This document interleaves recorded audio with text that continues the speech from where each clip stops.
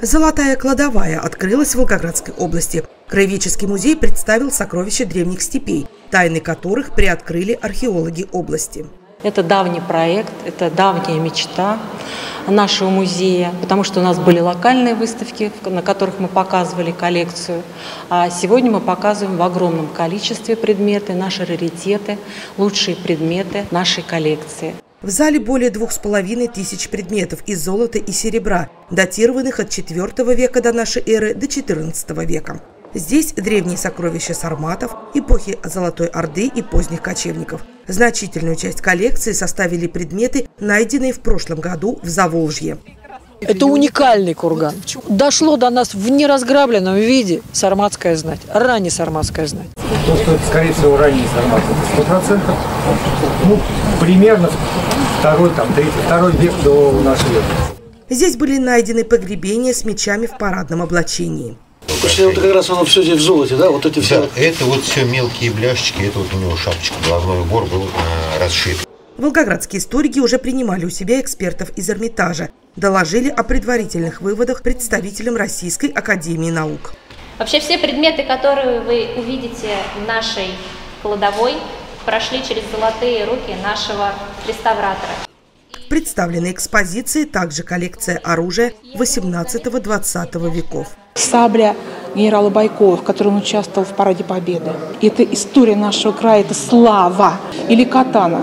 Как вот в нашем арсенале оказался, оказался японский меч. Эту катану подарил маршал Василевский в 1945 году, в сентябре, нашему земляку, контр-адмиралу Бурханову за боевые действия против милитаристской Японии.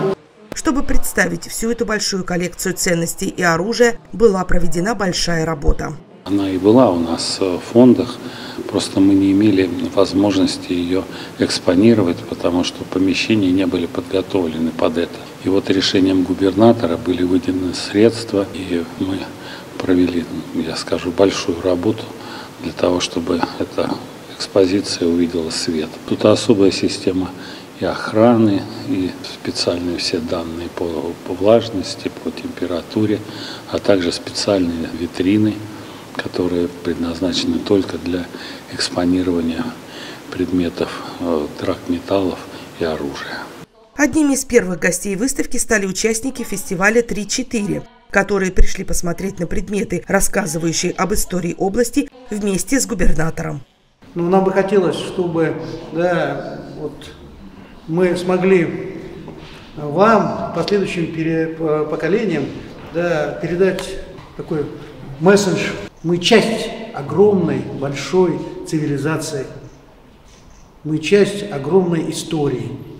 И мы об этом никогда не должны забывать. Никогда не должны забывать. И не вычеркивать э, часть своей истории, нравится она кому-то или не нравится. Это приводит тяжелым последствиям. Потому что теряется связь поколений. И начинаются вместо настоящей истории искать подмены. Ярким примером такого является э, современная Украина яркий, ярчайшим примером. Когда правители Украины приняли для себя решение разорвать связь между большой частью истории, да, которая нас объединяет, подменить те принципы жизни, ценности. Что в итоге мы получили? В итоге мы после этого они начали создать фашизм и нацизм. Это чуждая идеология для нашего народа. Чуждая. Но тем не менее они начали это навязывать идеологию жителям, проживающим здесь, чуждую идеологию для вообще нас всех. А после этого развязали войну против русскоязычного населения и начали его уничтожать. Ну, не только просто русскоязычного, а против украинцев всех. Это же на самом деле так. И мы для того, чтобы прекратить эту войну, защитить жителей Донбасса, вынуждены были начать специальную военную операцию. И уверен, что мы уничтожим фашизм, нацизм. В этом нет сомнения. Сохранение истории – важнейшая часть культуры. Выставку можно будет посетить уже со 2 июля. Наталья Полякова, Диана Зеленская, Сергей Григоренко, Елена Заборщикова. Волгоградская правда.